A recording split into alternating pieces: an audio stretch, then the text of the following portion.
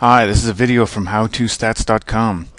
In today's video, I'm going to be looking at a split plot ANOVA analysis uh, as analyzed in the program called Statistica. And this is based on the blog entry uh, that I wrote in how2stats.com about uh, are you making a difference statistically? And it was in reference to a consultant going into an organization doing a pilot test on some kind of training program to increase resilience. Uh, and there was a control group and there was a training group and there was a time one, time two. If you want to learn more details, uh, you should go to the blog entry uh, that is listed uh, on the YouTube comments. So what I've got here are the data, and I'll assume that you know how to uh, input data into Statistica. Uh, so what we have here is the first variable, resilience, that's time one, pre-training. And then we've got resilience two, which is uh, post-training resilience. And then we've got the grouping variable here, and we've got zeros. And if I scroll down, we've also got ones. And I believe there are 50 uh, in each group uh, for a total sample size of 100.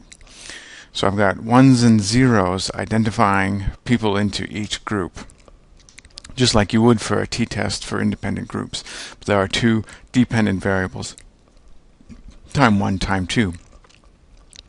So to analyze these data for a split plot ANOVA, one of the most useful statistical analyses uh, in my opinion, go into Statistics, ANOVA, and then you click Repeat Repeated Measures ANOVA, and then go into OK you got to select your variables. So in the first uh, uh, first window, in the first box of the window, you have to uh, select your dependent variable list. And dependent variables are resilience 1, resilience 2. And I just push down the shift key while selecting those. And then my category predictors or factors between groups variable is groups. And then the number 3 pops up there. Click OK got to identify the within subjects effects. I think the default would work just fine. As it is, it's got two levels. Factor name R1. You can just leave it as that. I just write time.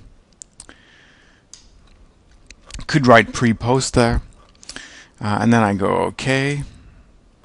Then it shows me the options I've got in terms of doing the analyses and the output that I'm going to get.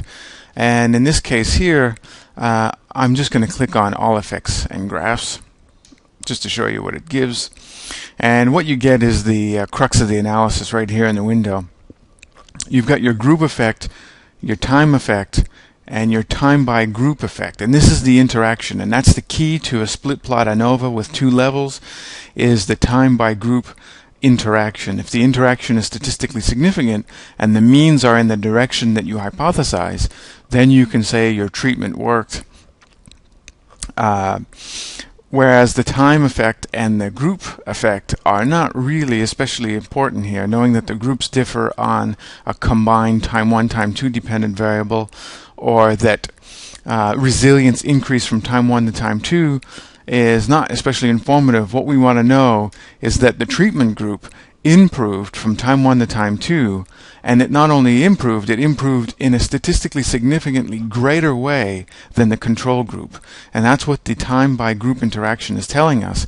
And the F value is F119, and it's statistically significant. It's less than 0.05. It's in fact P less than 0.001.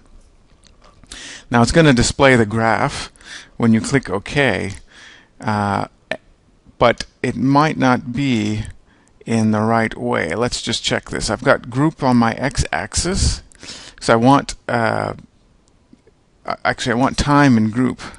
Time on my x-axis, pre and post, and I want my line pattern to be separated across groups. Let's click OK. And we get the uh, chart that I displayed on the blog I hope this is large enough uh, for you to see. Uh, let me just make this a bit larger. Actually, I could get rid of this. So this is the interaction. I'll just get rid of these pieces of information to make the chart bigger.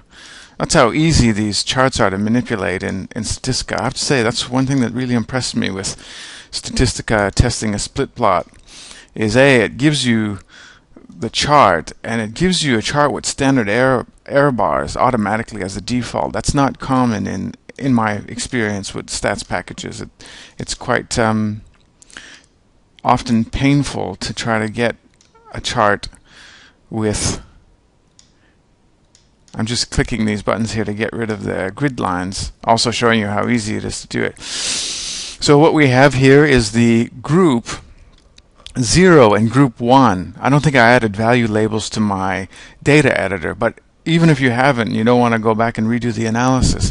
It's quite easy to change that in Statistica. Just double click on that and you have to disconnect objects from graph and then you can whoops you can replace let me cancel that alright so disconnect objects from group and do that for this one as well. And then we can change uh, 0 to control.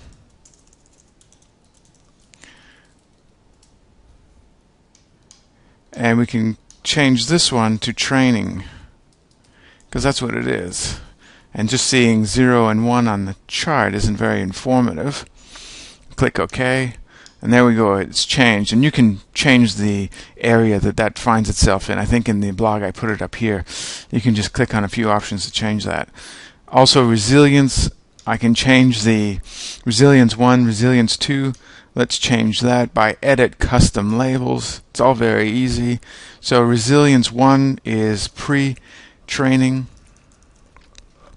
and resilience 2 is post-training these are the only two things I'm going to show you because I don't want to make this a total chart uh, uh, YouTube video on charts, but you can see how easy it is to change the various features of a statistical chart. Very impressed with that. And I'll end the video here. Thanks.